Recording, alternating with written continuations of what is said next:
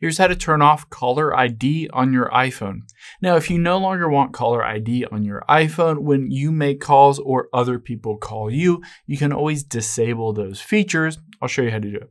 So let's hop into settings here and we'll just scroll down until we get to phone and tap on phone. Now here, there are two different things that you can do. One is show my caller ID. You can tap on that and you can just disable this. This means anytime that you make a call to someone else, it will not show your caller ID.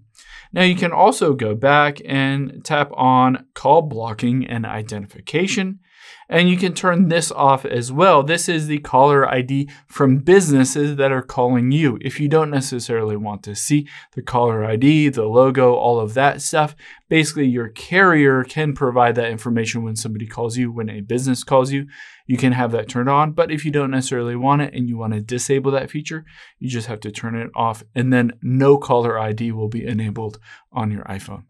Hope this helps. Leave a comment down below if you have any questions, and I'll catch you on the next one.